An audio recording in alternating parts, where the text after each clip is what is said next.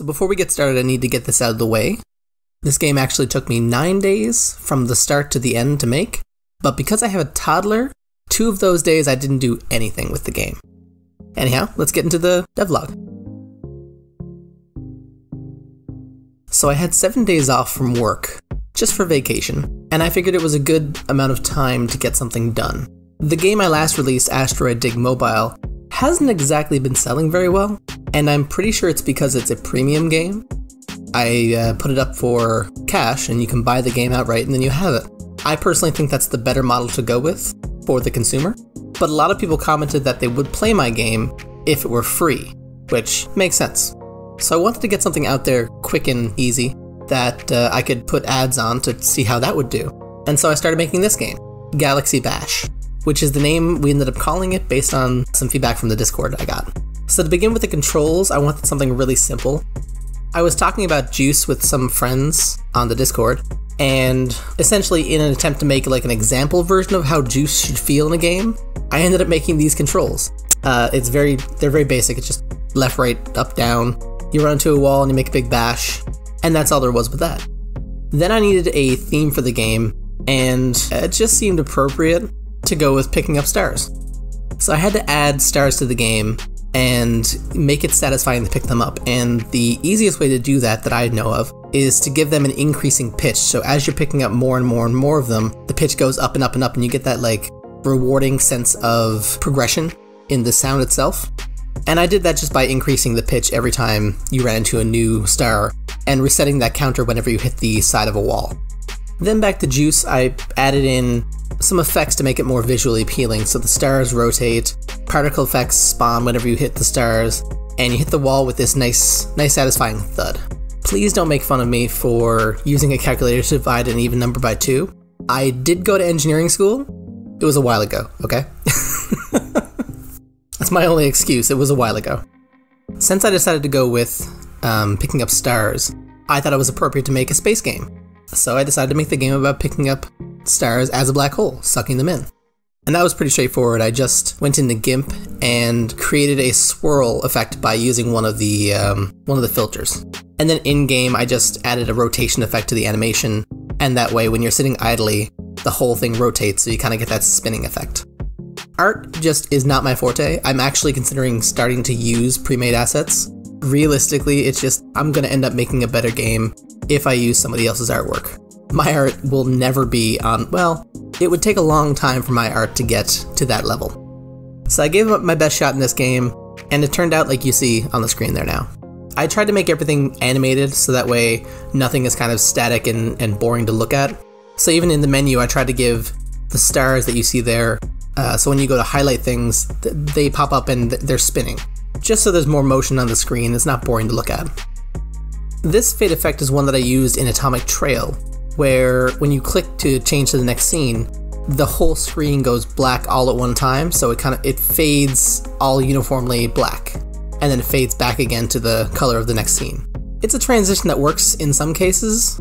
I eventually changed that out for another one later, but it, it, it did the job for the time being. I wanted the game to give you rewards as you played it, so people had an incentive to come back and, and they felt rewarded for their time. And so I decided to make unlockable colors for the stars, which actually turned out really well. Each different star gives you a completely different color to play with, and the whole screen, since the particles and the stars themselves all use the same color, it's a very different look every time you switch colors. Then I wanted to add a scoring system to the game, because again, you want the, the players to feel like they have some sort of challenge. And since I didn't want it to be too difficult that if you failed the mission or failed the level, um, you just failed. So instead of that, I made it so that you had a scoring system, and the more stars you scored, based on how long it took you to finish the level, the more would go back towards those unlockable colors back at the beginning in, the main menu.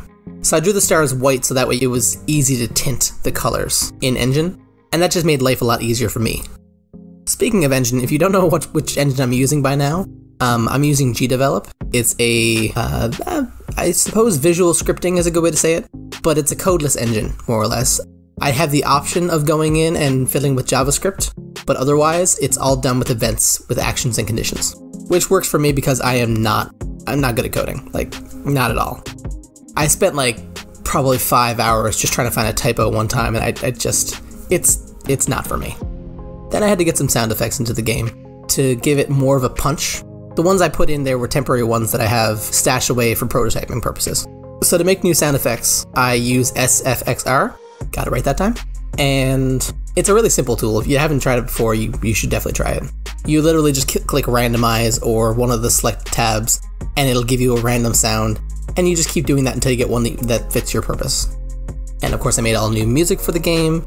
I use BeepBox and BandLab. This was made in BeepBox. It sounds like this.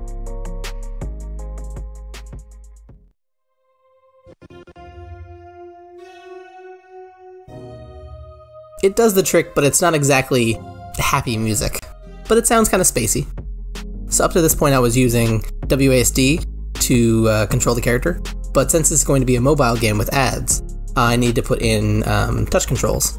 And since GDevelop doesn't naturally recognize swipes, I created my own swipe system. So basically when you click anywhere on the screen, it brings up the control menu.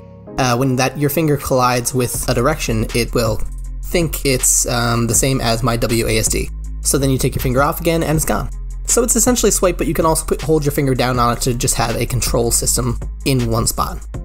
So now that I had the mechanics down, I needed to start adding in things like finishing screens, transitional buttons, and things like that. Once I got to this point and I was starting to go from one level to the next, I wanted to solidify what I was going to use for a fade. Acknowledging that the one that I was using just didn't make any sense for the style of game, like it just didn't look right. I decided to do what I did for my last mobile game, Asteroid Dig, which is basically just an image across the screen. So when the level starts, it's covering the screen, and then from the beginning, it moves over to the left and kind of swipes away from the screen. And then when you want to transition to the next scene, it comes back again. So it kind of swipes away and swipes back. I think this looks really good for arcadey fun games. Once I got level 1 to 10 done, I decided it was about time to uh, get some people playing the game to test and see if, if it feels okay to play. Because it's very easy to make something that's just not fun. Because you're so close to it, it's hard to acknowledge things that are wrong with your game. Everything was fine. The, the controls were good, people were okay with everything else. Um, it looked a bit janky, but that it was a prototype, so they everyone got over it. These were game devs, they were used to seeing janky prototypes. But one of them, of course, being game devs, went into my game files and uh, looked at something a little bit odd everything was like 20 to maybe 100 kilobytes. And then they found this sound file, the music file I was using, which was a WAV file, um, that was 70,000 kilobytes, basically quadrupling the amount of uh, space my game took up. And they all laughed at me because I was fervently defending the fact that the sound needed to be the highest quality possible. Oh boy. Uh, so I broke out my uh, my headphones and Audacity, and they were sending me different file versions and different types, uh, converting it to lower quality versions to try to get something that sounded good, but was also a much smaller file size. And then my eyes were opened up to the OGG file type, which I don't understand how it works exactly. Somebody told me that it's basically witchcraft, and I accept that. The 70,000 kilobyte WAV file sounds literally exactly like a 6 kilobyte OGG file. I don't understand it. It makes no sense. Everything else, uh, MP3s, um, whatever other versions we were using, everything else, reducing the quality, you could very clearly hear it. It sounded mute and flat. But for some reason, this one sounded exactly the same as the 70,000 kilobyte file. So, accepting Witchcraft exists, I moved on to the next set of levels. I decided that every 10 levels uh, where there would be an ad, I would add a new mechanic. So when they finished the ad, they came back and there would be a new mechanic, so it's kind of rewarding them for sticking around. And this one was very simple. It was basically a teleporter, right? You have a top down game like this, being able to teleport back and forth between spaces in the round is kind of par for the course. So since the character was a black hole, I made white holes. I don't know if they exist, but I made white holes. There's a joke in there somewhere. Essentially, it was just set up so that when the character runs into these white holes, they get their position swapped to the next one, and then they retain all their forces, which actually made for some really cool level designs. Um, you're probably seeing them now. Once I finished 11 through 20, since I had the base mechanics down and I got the feedback that I was expecting to get last time, I just moved on to the next set of levels. So, like 11 to 20, I needed a new mechanic for 21 to 30, and this time I created the rotating aim hole. I'm creative, I know I am, thank you. So, using the rotating aim hole, um, essentially it just directs the black hole player model to whichever direction it's facing at the time. And again, just like the white hole, this created a whole bunch of pretty decent levels. Uh, level 30 I think is pretty great because it has six of these rotating aim holes, and I think it's pretty good. This is actually the first game I've made that my wife has played through, by the way, so bravo to me. I've made something that she was actually able to sit through and play. I made something palatable. Yay, me! At this point, I had 30 levels, and I had the transition set up for where the ads were going to be, so I decided to start adding ads. Thankfully, with GDevelop, this is really simple. It's literally just a matter of um, creating a separate scene and loading the ad. That was it.